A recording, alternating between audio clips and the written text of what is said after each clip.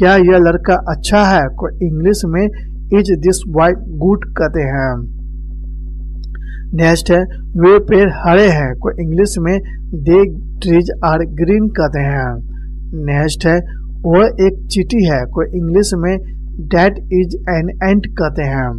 Next है, वे लड़के बुरे हैं। को इंग्लिश में दोज बॉयज़ आर बेड कहते हैं।